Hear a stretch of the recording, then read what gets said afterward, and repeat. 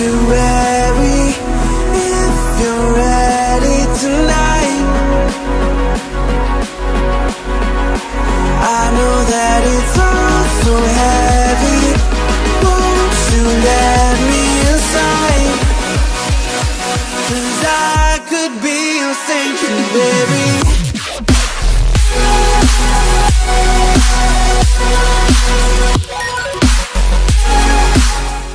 What's up guys, hope everyone is doing well. In this video I'm going to be going over some updates for Bitcoin and then I want to touch on some news related info towards the end. To go and get it started here, first off, as an update for this daily chart, this ascending black trend range that we can see right here is drawn specifically with respect to the hidden bullish divergence we've seen here on the RSI from said point on the price, really encompassing this entire area right here throughout this uptrend that we have seen going all the way back to around November of last year when Bitcoin hit uh, what is most likely, it seems, all things considered, the low this bear market, 15.4 thousand. Ultimately, the picture I want to paint here is just right now, uh, I'm personally leaning to Bitcoin holding basically approximately 25,000. If I lose that, then like I've been saying for quite some time, 24,000 to around 22,000 would be next, and then around 21 approximately 21,000 all the way down to around approximately 19,000 would be after that. If we lose that, then I believe we'd more likely set new lows below 15.4 thousand rather than just retesting this range back here ranging from around 17.8 to like I said around 15.4 thousand. Um, but I do I don't think that is most likely like I have been badgering on recently in my videos, although it can happen. So with respect to this ascending trend zone right here with respect to the hidden bullish divergence. With our most recent downside, we've seen from basically approximately 30,000 halfway in August to this uh, low range we've set recently right in this area. We're roughly holding this zone right here. So uh, like I said, I'm personally leaning to seeing this uh, zone held. If we actually go all the way back to the buildup that we saw after the March crash, um, which again, just to quickly reiterate, I'll have cards linked beginning this video to more elaborately break down my phase cycle theory, but according to that, I believe we're going to see a bull market very, very similar to how things happened back here in March up to, you know, when it went 64,000. Um, and if we go back, we're basically right here in this area, this rough range right here, but if we actually go to um, believe it was uh, yeah, September 9th, 10th. You can see we were setting this low right here, this last local low, approximately 10,000 before things finally then went up to 64,000. We had hit 69,000. We've been in this bear market so far. Takes us to where we are right here. We've seen a fairly similar um, uptrend, and bullish build up to the bullish build up we saw after the March crash. This one's been a little, a little bit longer, looks a little bit different harmonic wise, but it is very similar nonetheless. And is showing decay like it should be with the maturation of Bitcoin over time. But if we actually take this right here, we can see that going all the way back to right here, September 9th, the 10th is when we headed uh, into this lowest local low we've set here, wicking down to 24.9 thousand. We've been building up ever since, similar to how we did prior. Um, so again, the final picture on here is basically, I think we're going to hold this right now until we start to lose um, 25,000, but really more so around 24.8 lines up with the wick, well, around 24.7, the wick that we hit back in June, on June 16th of this year. Um, unless we lose that, I think we'll continue to go sideways maybe a little bit, but then build up more so, I think, into October. I think October most likely will be when things uh, actually break this uptrend range right here for the hidden bullish divergence. I think we'll likely, like I've been saying, I think 28 to 29,000 is going to be important. Once we break that, then I think it's possible that we could start to shoot up towards, uh, as I said in one of my recent videos, 40 to 50,000 is a general range, taking different macro patterns on the weekly chart. I think it was like three or four that I took with a macro falling wedge, a cup and handle, an unorthodox cup and handle if you want to entertain it, uh, and an unorthodox uh, bullish megaphone as well, um, creating a range and maybe an, another one that I forget. Uh, if we break topside here instead of continuing to go lower, whether or not we hit this orange red zone or go lower than lowest low, 15.4 thousand, assuming we go up here, um, then I think the 40 to 50,000 dollar range probably is where it will hit. Um, we take a look here at this chart. This is a four-day chart. So this is ascending black range is not the same range as one on the prior chart, but I decided to draw a trend line with respect to the low we set back here on the around September 22nd of last year to the low, kind of low we set around March 6th of this year at around 21. So it spans from basically 18.7, 18.5 to 18.7 up to 21.5 to 21.7 thousand. Uh, and then I lowered that a little bit to reach down to the wick lows back in March of this year. And they created the range. You can see each of these black circles, the black arrows. This has obviously been in a very important macro ascending trend zone. You can see this is what we lost it, got the final almost straight down dump into 2018, 2019. This was the kind of final blow off top moment. We saw rejection. 2017 had a minor retracement, had the blow off top to 20,000. You can see it was very important for after the March crash, we had this build up into the bull market up to 64,000. You can see that we found rejection heading into May around 10,000 set sideways, finally broke above it, came back down and then found support at around 10,000 and then had that blast off to uh, 64,000. Um, what I do find interesting here, so if I zoom in, just had this as a last moment idea not too long ago when I was looking over the charts, but so this upper curve right here is uh, a clone. So, or uh, rather, the second and the third one is a clone of the first one, which is drawn specifically with respect to the wick high right here. Um, and then finished it out right here with this wick high back in June. And then I just located the center one to touch each of these wicks as we descended right here. Uh, like I said, I cloned that and then took it, the bottom one down to the sideways action we got in this bullish buildup back in around May, June, July of 2020.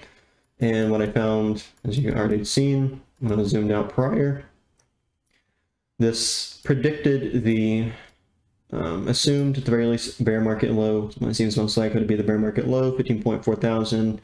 We ranged sideways a little bit and then finally have entered this uptrend as I've been speaking about. Um, we're now coming into shortly, if we continue to go lower here, we lose, like I said, approximately 25,000. The ascending, the linear uptrend sits roughly around, like I said, 25,000 to around 23.5 thousand. And then this white range begins, picks up at around, like I said, 23,000, 23,000, all the way down to, at lowest, if we were to see a God candle to the downside, around 19.2 thousand. Um, which going back to this daily chart is lines up with the beginning of the lowermost range that I have on this daily chart. Um, as I've been saying, I do think bottom of the barrel bull market supports approximately 20,000. If we see 20,000, I do personally have some sort of risk tolerance for wick lows down to as low as, you know, maybe approximately 18.5 thousand. Something similar to a March type crash. Not necessarily there's going to be some sort of like societal catalyst with COVID uh, along those lines possible. Um, anything else is possible as well, but we could see a major wick low because of that.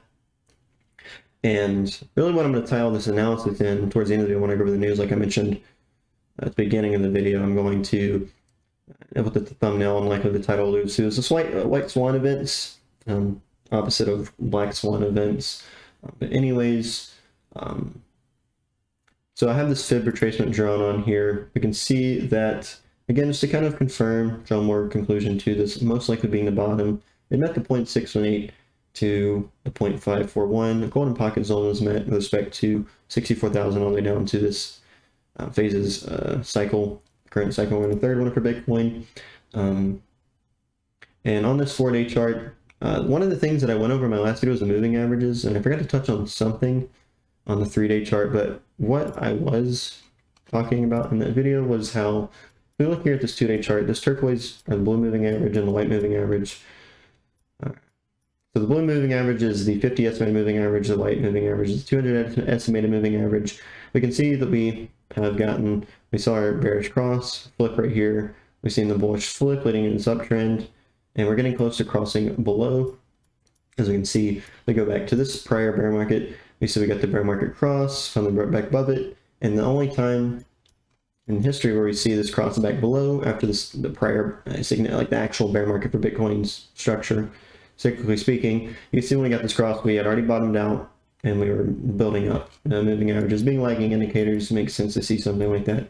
Going back to the 14, 2014, 2015 bear market, see our bearish flip, get the bullish cross, and we didn't even see it. Like I said, this right here is the only time we've seen this happen where we see the bearish flip, we see it flip bullish again, and we saw a very short-term cross right there indicating right before the bull market really begins. So like I said, we've got the bearish flip right here. We've seen that crossover and we're getting close to doing that. Um, again, to reiterate, if we do indeed get this cross again on this two-day chart, I think that is probably one of, uh, at the very least, one of the best buy signals you could possibly see. Again, of this financial advice, just going over my personal ideas on what I think about the market. Um, but if we go to the, and this is what I forgot to mention, if we go to the three-day, we see bearish flip, bearish flip. We it gets crossover right here, like I was going over the two-day. We go back here, we get the bearish flip, crossover, and we can see that this three-day chart, we had the bearish flip leading into 15.4 thousand. Zooming in here, we can see we got the bullish cross, but then we crossed over. As soon as we started to set the low right here, and this roughly downsides, mostly sideways action I've been seeing from around 25.8 to around 27,000. Um, so given this is two day, this being, well, I went over the two day, this is the three day. Uh, given that these are so close on the daily time frames, I'm personally looking at this as a borderline confirmation right here, this crossing, as what would happen if we saw the cross on the two day. Um, what we see here on the three day might basically be foreshadowing a cross that's going to be coming here in the number couple few weeks, maybe you know, month and a half the longest, where we'll continue to see Bitcoin kind of just you know maybe go sideways a little bit longer, then start to scale up, or maybe it'll scale up a little bit quicker here. Um, but like I said, moving averages being lagging indicators, we can see Bitcoin go up from here. Moving average continues to go low, lower. We get that brief cross, which would, again, going back to March, we can see that's what happened back here. We crossover, well, price had already bottomed out and it was moving up the entire time while the 50 EMA was going down. Um, but outside of that, the last thing I want to touch on is, is that we, here on this four-day chart, just recently got a uh, cross here on this RVI, the velocity index. So this could also be hinting um, at seeing some positive action towards the upside. If we take a look here at this MACD, you can see that we have been going down basically ever since when we first hit 30,000, but we are seeing some form of a bullish divergence, or not bullish divergence, my bad, hidden bullish divergence um, here as well in the MACD, but I would take that with a grain of salt. You can see that we are, though, which is important. The histogram has been building up. The moving average has been flatlining. Um, and we could likely be seeing a cross here soon. And factoring that in with RVI, seeing that cross. Last time we got something like this, when we hit this pink zone, would go all the way back to 15. And it's actually, you can see it's, you know, roughly similar to, it actually went lower than when we hit 15.4 thousand, which is part of the hidden bullish divergence I've been going over. Is one of the reasons why I think this is a great time to buy. Um, just because we're more you know, like on RSI as well, here on the RVI, it went lower than it did when prices was all the way back down to 15.4 thousand. I see something like that as kind of the last best time, the final moments when Bitcoin's at a local low before it really starts to go parabolic towards the upside. Um, but here for this, this other four-day chart, so similar boxes here, you know, the orange, and then the red I extended all the way down to the midline of this lower white dashed line being the, uh, we were to take the retracement from 20,000 to this bear market low in 2018. This is the halfway point of the downside, this bear market downside from 2018 to 2019. Um, so again, so the, the thesis for this video is going to be me kind of reiterating a little bit what I've been going through in my recent videos, specifically with to with respect to the uh, bull bear dichotomy video that I made. And like I said, at the end, I'm going to touch on some news to further uh, exemplify why I think we're more likely, at the very least, to see something like this turquoise, green, yellow, or orange pattern rather than seeing something like the red or by any means, especially going all the way down to what some people still predict as a possibility. I mean, it's a possibility, but I think it's a very unlikely one. There's still plenty of people, and most of the, for the most part, the crowd's mostly bearish right now as well. But there's still plenty of people saying 10, 9, 8K is borderline inevitable um, at some point, and we haven't actually bottomed out. Um, but like I was saying, either the blue, green, yellow, or orange, I think is most likely. I think at the very least, maybe we go down to like 20,000, see some wicks down to 18,000 roughly or so. I think at the very least, 15.4 thousand was definitely indeed the bottom, all things considered. Um, and then like I've been saying, 33,000 is going to be highly important. Start breaking on around the daily and higher, especially the weekly, getting a candle close above that and then opening one above that subsequently at some point. But I mean, like I've been saying, nothing's really changed. I still think 180k to 200, approximately 180k to 250k is the most likely upside range for the upcoming bull market top. Whether it is next year, like I personally believe, right now my bias is that it's going to line up roughly with the halving of next year around March, April, May. Um, but in general, I do think, uh, you know, uh, either 2024 or 2025 will be when Bitcoin sets a new all-time high. And even if it goes down, let's say it takes this red path and goes all the way down to 12,000, roughly 12,000, um, even if that happens and we see kind of a medium term resumption of a bear market, um, it still definitely could, you know, build all the way up uh, around 180 to 250k before the ending of 2025, I personally believe.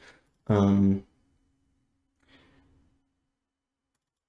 if we look here at the six day chart, um, again, I touched on this one in recent videos, strong similarities to my specific phase cycle theory and what I think is most likely. We saw this brief crossing on the six-day chart of the Ichimoku cloud, uh, Ichimoku cloud rather. Uh, we've seen something similar right here as well.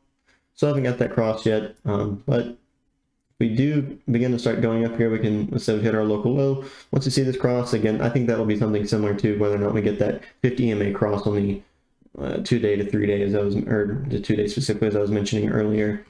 Um, if we look here at the RSI, again, uh, we've been in this uptrend, broken out of the macro triangle. We're heading into our white vertical range that we've met going all the way back to the first triangle in 2011 that I went over on our recent videos. And from November 15.4 thousand last year to our current local low, printing that hidden bullish divergence, the entire trend line, as we can see down here, we met that recently with our um, local low or wick low. Um, another reason why I think we're going to bounce from here rather than significantly losing, uh, you know, 24.5, approximately 24.5 thousand at this point. Um, but outside of that, lastly, actually, may have been something. I'm to check here. I may or may have not wanted to. Oh, never mind. Okay. So the last thing, in terms of technical analysis, um, as I've gone over in the past on the channel, when it comes to the SPX, the NASDAQ, New York Stock Exchange, uh, just the fiat market in general, I believe we are heading into a crash that is going to be very similar, if not worse, than what we saw back in 2008 to 2009. Um, plenty of news outlets, uh, articles in the last two years roughly have been printed and put out, or at least, you know, published online rather. Um, saying that we are heading, you know, we're obvious, it's clear that we're in a recession, and I'm going to touch on the inflation and things like that later on, but it's clear that the market's not doing too good for many reasons. Um, and uh, on top of that, the where the you know the social setting is, the politics. When you look at this chart right here, going all the way back to basically the beginning of 1995, we have our first M pattern A to B to C to D. That's when we entered C to D, March crash, or not March crash, rather the uh, 2008, 2009 market crash. And then we go A, B, C, D. So then C to D lining up here. It's the same time period over time as well. We begin at the very first A, the first peak, happened in 2000. We go straight to C seven years later. We get the crash. Seven years later, we get a correction right here with respect to A to B. And then we go fast forward seven years later again. We're now at the C point, heading into C to D. Each of these, to keep them strictly at actual seven-year intervals, you can see that each of these line up just a little bit, some sort of period of time before the actual, you know, drop off here. You can see each and every single time A, C, A, and C. Um, and then we slowly start to go down. Now, like I said, plenty of sources saying that it's, you know, very least going to be like 2008, 2009 crash. Uh, many of them saying it's going to be worse. I definitely think it's very possible and plausible that it, it will be worse. Um, at this point, we are lagging behind a little bit. Um, if I zoom in here, pointing out C to D, you can see that, oh, I'll just zoom in fully. You can see, I grabbed the highlighter here, but we had this kind of like hook right here, and then we just went straight down. Again, we have this kind of like hook, and then we go straight down. Uh, I believe that's what we're seeing right here, but I think we're going to see it over a long, we're, we're seeing it over a longer period of time, and then we'll eventually go down. Um, last time around, when it crashed in 2008, went down around 57, basically 58%. That puts us more at around 2000, but in general, especially if it's worse, I think the range is likely around 2000, approximately 2000 to 1600 is generally going to line up with finding some sort of support with respect to the A to B retracement. Um, also, we look here at the, the, uh, um, the 200 estimated moving average is upper one, and the white one is that's going to be the 475 EMA, creating this range where you can see we dip below right here.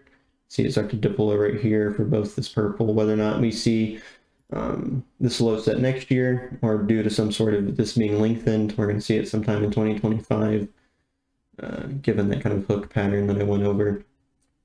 This range right here, uh, 200 EMA is obviously pivotal uh, moving average when it comes to many things, but this 400 EMA down here goes right down to the wick, which is clearly also important. And then it, it further affirms this range on top of the this you know 27 plus year long uh, macro pattern. This is on this is on it. If I were to go to, which I, I won't in this video, I have in past videos, if I look at the NASDAQ and the New York Stock Exchange, you see the same exact pattern unfolding on those charts as well. It's a little bit different for one of them.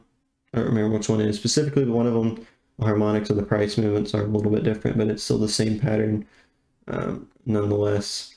Um, so now to get to the news. Um, so first off, topic of the video really is the white swans. Um, when it comes to the white swan, it's basically the opposite of the black swan. As we can see here, white swan is an easily predictable event that is anticipated based on current information forecasting, um, whereas black swans are highly improbable, uh, very unlikely, essentially impossible to predict. Uh, it is sure to occur. Its impact is easy to quantify. Human error is usually considered the cause of such events. We see a recession as a good example of a white swan event. Metrics such as a rising unemployment, inflation, and negative GDP growth are signs of a recession. While no one can tell the exact date, what is certain is that economy-related issues, white swan events, are going to occur at some point. Um, and this is basically what I'm saying. Uh, the, the thumbnail of the video had two white swans with uh, fiat subversion and decoupling. It's kind of these are essentially two sides of the same coin because fiat subversion is going to lead into what the decoupling is, which is when Bitcoin starts to um, have an inverse correlation and relationship with things that are within a traditionalized fiat market, such as these stock indices, the SPX that I've gone over, and gold as well. There's been short periods of time in the past, and also recently within 20, especially 2021 and this year, which I'll get to later, where uh, Bitcoin starts to deviate uh, from having a relationship, a well, at least a non-inverse relationship with these uh, traditionalized markets. Um, but here, this is an article that I found talking about uh, somebody saying that the uh, typically the, the, the March crash for Bitcoin, the, when the COVID pandemic came into the collective conscience consciousness, uh, 2019 is also typically, like for example, I'm going to talk about how uh, Amazon bringing paid by Palm technology to Whole Foods. These articles really started popping up uh, from what I saw going back around 2018. Like I said, so 2019 when the pandemic began. But to go back to here, um, what this article says is, however, what Taleb wrote about coronavirus in an essay in the New Zurich Times is worth considering. A global pandemic is clearly a white swan, an event that is certain to occur at some point. Such pandemics are inevitable. They come as a result of the structure of the modern world, and their economic consequences will be even more serious as a result of increasing interconnectedness and exaggerated optimization. Pandemics have occurred again and again throughout human history, which is why it is white swans and need prepared for. In fact, Taleb and a few other investors foresaw such a virus as a possible scenario and bet on it. With SARS, Ebola, and the influenza viruses, there have been several examples in recent years that have highlighted the exponential spread of such a pandemic, and I would definitely agree with this. I think that makes a lot of sense. Um, I never, like, not until the other day when I decided to look it up, I had, had no idea that White Swan was actually a thing. I just kind of had the idea to look up whether or not there's something, you know, that's the, basically the antithesis of what a Black Swan event was. Came to this, which really kind of led me into wanting to make these points that I am right now. But, you know, like I said, so the point with it, so customers' palm signature will be linked to their credit cards, concerns raised about privacy and vulnerability to hackers. I have actually in my shorts on this channel a video that I posted some time ago about uh, somewhere in Europe where this uh, this woman used Amazon, uh, some sort of Amazon like uh, hardware kiosk in the grocery store to literally scan like her card information on the palm of her hand. She paid with the palm of her hand. Um, right here, this is a uh, this is from GatesFoundation.org. is relative to Microsoft and Bill Gates. Uh, digital ID is a critical piece of digital public infrastructure. Digital IDs are one of the three pillars of what's known as digital public infrastructure uh, or DPI. The others are digital payment systems and data exchange systems. Digital ID system is critical because people need a verified identity in order to tap into DPI's other benefits, from digital bank accounts and instant payments to mobile phone accounts and personal data management.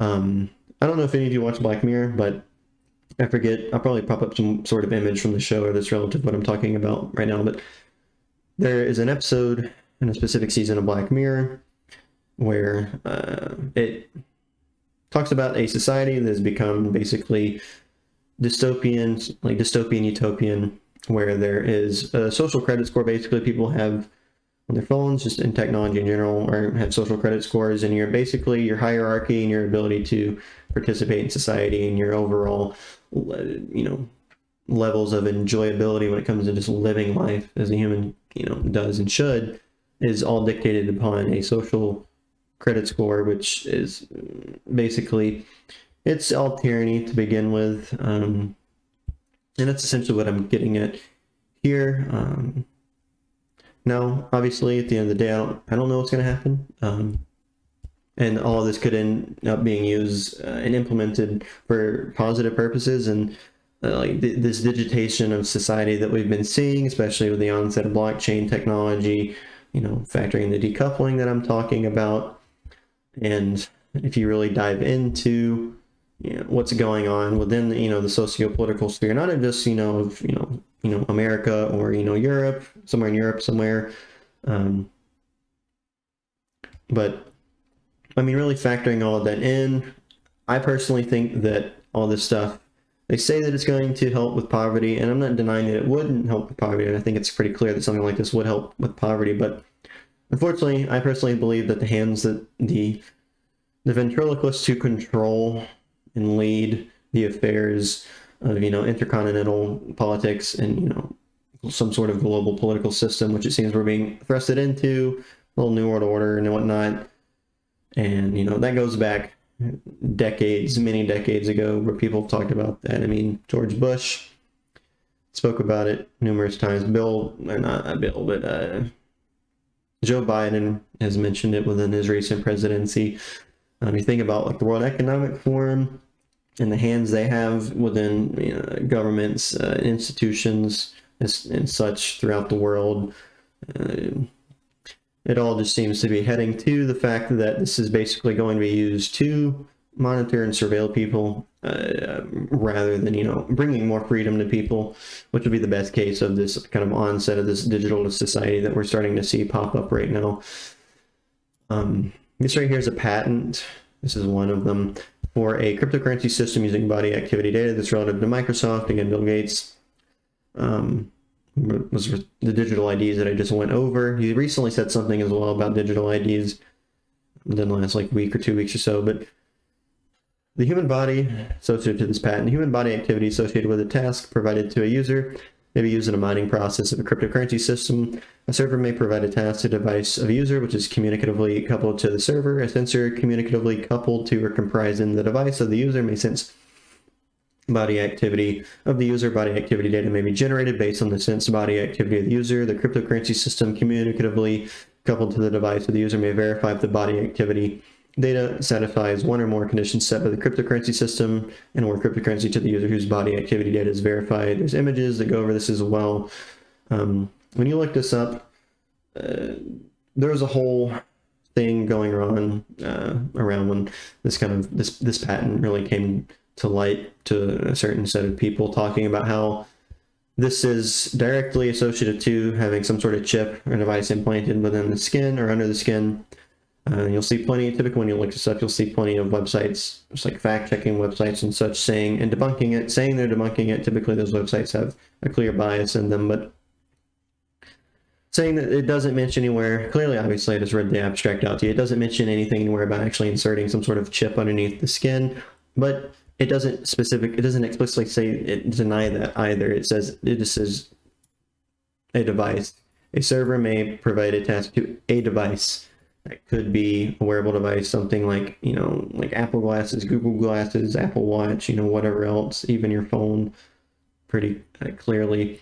Or you know maybe some you know specialized hardware that some you know blockchain company or protocol came out with that sends people like something like XYO where people have physical devices that they're sent with respect to the protocol that that, that, that blockchain runs. But uh, it like I said it doesn't specifically deny that so and this definitely could be something that is implanted underneath the skin because if I fast forward here a little bit this is another article going back from 2018 it seems like five, six years ago was, as far as I'm concerned right now, when I went over for this video, was really when a lot of this stuff started popping up.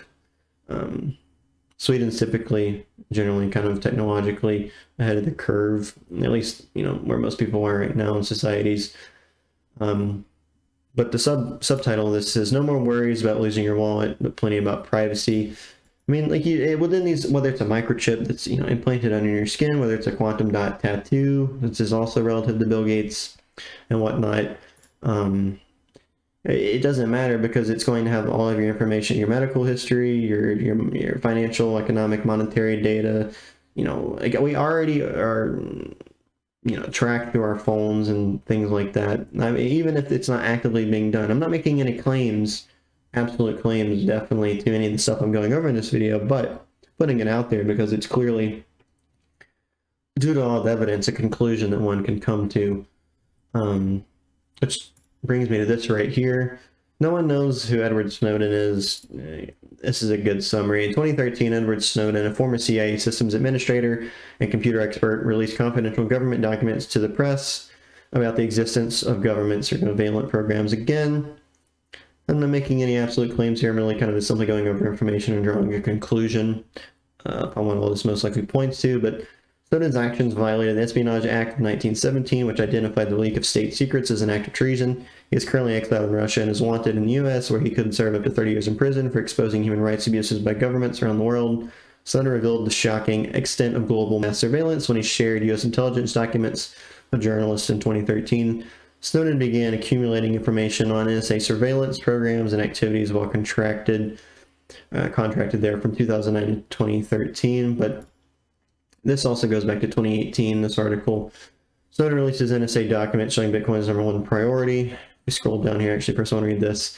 Um, Edward Snowden is at again the time this time the world's most notorious whistleblowers handed over national security agency documentation to online investigative news outlets their news outlet, The Intercept, revealing an invasive covert program to track Bitcoin users using spy tools he uncovered during the infamous first go-around. The implications include the future of privacy along with un, uh, along with warrantless data collection being used to prosecute Bitcoiners such as Ross Ulbricht of Silk Road. Again, those of you familiar with you know the content of this channel and uh, the conclusions that I typically draw with respect to some sort of you know information or data um, that I go over in this video. I personally think that this is true. I do think it's pretty clear and obvious. Like, for example, something that typically people will bring up is how you can be talking about, let's say you're just talking with a group of friends or whatever, and you're talking about some sort of topic, and let's say you're talking about some shoes you want to buy or some shoes you saw that you want to buy recently, and, you know, after you get done having that conversation, you're over here, you know, scrolling on Twitter on your phone, you're on Google, and you're trying to search something up, and lo and behold, you see this ad that is quite literally the, the very shoes that you're talking about.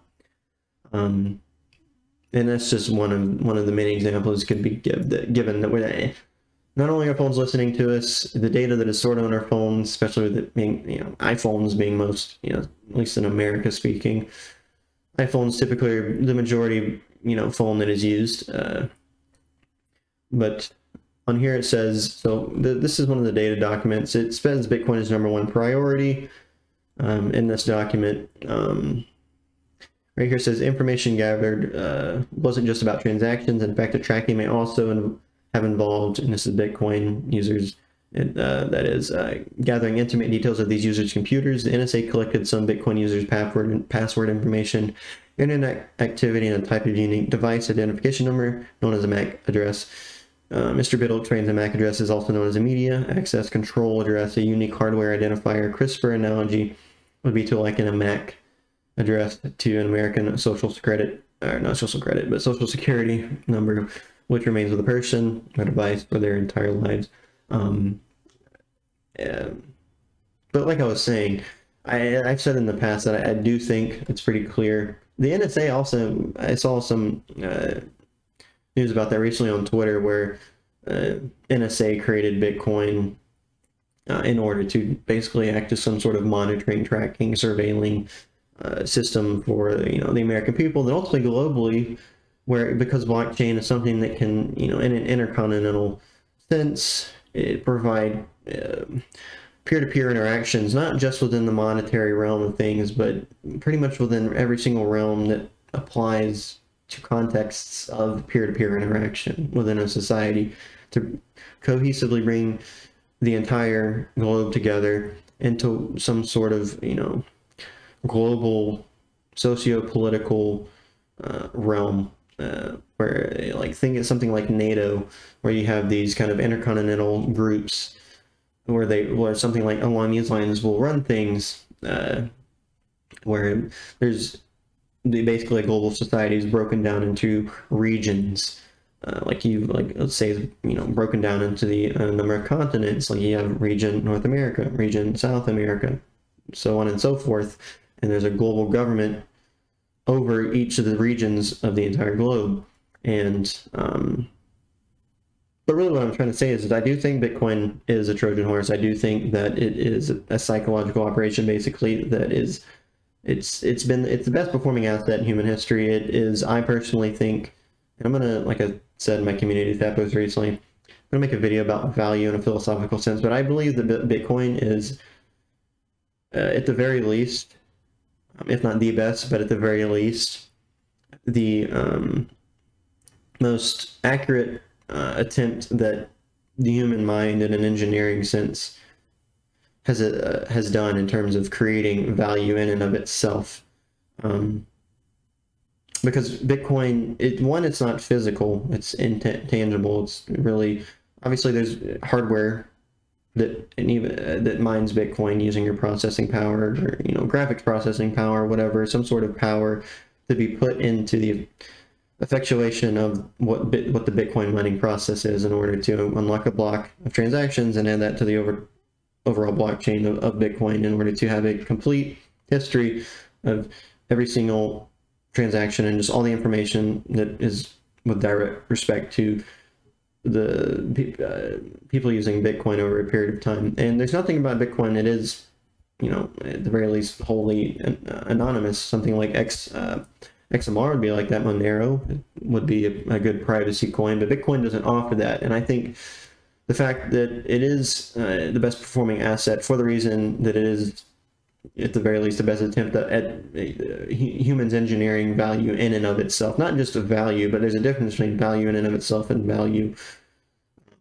And like i said i'll touch on this in a separate video but like bitcoin has got like especially bitcoin maxis and so many people because it's such a good performing asset it's making a lot of people money.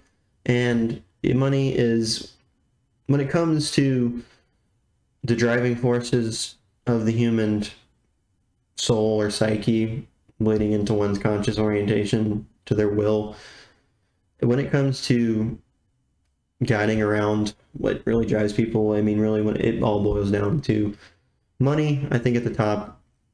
Um, I mean, if you even think about that, goes back to, you know, if you look at ancient texts, for example, the Bible, mentions that uh, money, um, the root, being the root of all uh, of all evil, not necessarily evil. Like obviously, money can be used for good purposes and bad purposes, but for the most part, greed in a monetary sense doesn't get anybody anywhere good. Uh, looking back at history, for the most part, um, in the grand scheme of everything that's gone on, like if you think about it, going back to even did recently with the Ukraine Russian war and how much money has been funneled into that for like billions and billions and billions of dollars have been sent to that cause over there. But the the, the fires that recently happened in Lahaina, Hawaii, you know, they got like I think something similar to the stupid stimulus check, like roughly a thousand dollars sent to them, and that's literally a part of our country. But yet we're funneling billions and billions of dollars into a Ukraine Russian conflict. I'm not saying it's good or bad, really. Um, that we're, you know, as a country trying to help out Ukraine. Obviously, Russia, it is a war crime and what they've done, and, and there's people innocently, you know, suffering due to just asinine nonsense of arrogant world leaders. But, anyways, uh, another point that I want to touch on is so to kind of draw everything full circle in terms of the digitation society that I've gone over, the White Swan events, that uh, surveillance monitoring, that Snowden information, the entire tangent that I just went on.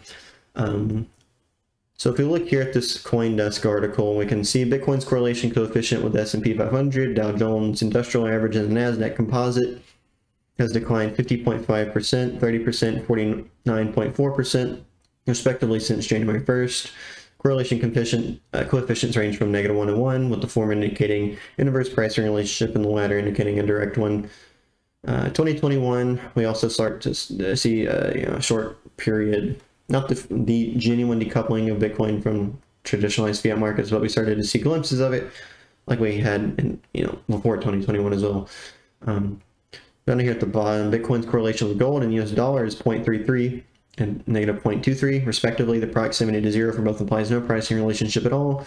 Ironic, given early perceptions of Bitcoin as an inflation hedge. So we're seeing it not only from the you know stock market indices and such, but also with gold and the US dollar. I mean, typically, for example, the DXY Bitcoins for the most part had an inverse relationship with that um, for the time being the Bitcoin's been out uh, with respect to the US dollar. Um, but to kind of break down the decoupling, I don't think, like I've said, we, we've been seeing, at we saw like currently within this year, we've been seeing instances of inverse correlation. 2021, we saw some as well. And then I think going back to around 14, 15, 2014, 15, 16, roughly, it's somewhere in that three year range. Um, we saw we were seeing some decoupling as well, and I think that's what is logically uh, is supposed to happen, and you know, we'll go uh, happen going forward from here. Is that we'll see leading up into the point when, for example, the market crashes and the traditionalized fiat market completely dies out. We've seen these brief instances of you know short term or medium term decouplings of Bitcoin from fiat uh, all these are just brief glimpses of leading all the way up until that final point when we have that final death of fiat market and Bitcoin long-term macro fully decouples. Bitcoin continues to go up in crypto, broader cryptocurrency market and fiat dies off, um, creating that actual decoupling event, which is what I believe is a white swan event. I think the fiat subversion and the decoupling, the stock market crashing, and then the fact that blockchain solutions have been on the rise within the last 14 years are going to take the place of that. And I'm labeling all of this personally as a white swan event. Um, goes back to what I went over as the definition for white swan uh, here on this CoinMarketCap article. Recession, rising unemployment. Unemployment hasn't been good in general in the last, you know, obviously since COVID began um, inflation as well. It talks about recession. The World Bank recently announced uh, that the global economy is heading into stagflation, uh, sharing characteristics with recession. Um, and also, uh, on top of that, um, a crashing of the, the market, whether, even if it doesn't have some sort of respect to some of the factors I just mentioned, in general is definitely not a black swan type of event. It's inevitable at some point that some sort of market is going to have a period where it just, you know, has some sort of significant crash or significant bear market. So it's definitely something that is, you know, sure to occur as it says, uh, and can be basically, as I said up here, on current information, anticipated on current information of forecasting, which is what I've been doing this entire time, going back to all this information. Um, to go back to these patents right here again, this is the same patent, but this is another one uh, filed through the World Intellectual Property Organization. They basically just have to do with copyrighted, intellectual copyrighted materials, uh, things along that nature. But this one right here is typically the one that's talked about. Uh, it's WO 2020-06, 0606. Uh, some people have broken this down and explained it as WO World Order 2020 060606 meaning 666, so World Order 2020 666. This also just eerily does connect in with the fact, you know, when you look in the book of Revelation, the mark of the beast, 666, allowing people to buy and sell. You know, take it back to this right here. We're putting microchips under the skin. All, you know, going back to this article, Amazon and Whole Foods, you know, using palm signatures, the right hand of the forehead. Not really seeing anything in respect to the forehead when it comes to stuff like this. The digital ID again. Um, I think this is this right here is definitely the biggest point. Uh, you know, factoring in what I mentioned earlier with the digitization of society through blockchain and that fiat crashing. Um, the what it, uh, the the NSA stuff with respect to Edward Snowden, giving direct information and evidence to the fact that you know we are being surveilled, uh, monitored, having basically there, there's a file, there's a data bank on every single citizen, especially if something like China. It's already clear that China is doing it and is really the ones that really want a social credit score, especially a global one implemented. Um, um, but that was really all that I wanted to go over um, here in this video. So hopefully you guys enjoyed. Again, none of this is financial advice. Uh, none of the claims made in this video are absolute claims. Who knows if this crash is going to happen here for the stock market? Who knows, you know, if we see Bitcoin continue to go up from here, maybe we'll see something. Maybe Bitcoin, you know, goes all the way to zero. That's completely possible. That's totally possible. I think it's highly unlikely, but, you know, it's definitely possible maybe you know Ukraine and Russia starts World War Three, or you know even worse, and everything just society just bored, not even just absolutely and wholly collapses. That's definitely possible, especially with the rising tensions in all across the entire globe. But all that being said, hopefully enjoyed, and hopefully able to learn something uh, in this video. Um, but I hope you all have a blessed day.